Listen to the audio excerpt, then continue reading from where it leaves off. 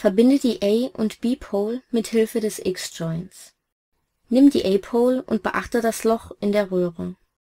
Beginne den Aufbau mit Ausrichten des X-Joint-Schraubenlochs mit dem Schraubenloch der A-Pole.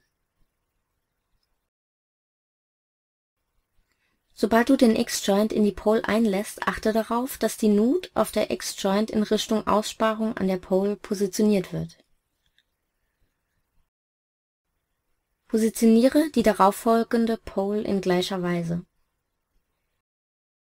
Jetzt drücke die Poles so zusammen, dass kein Zwischenraum entsteht.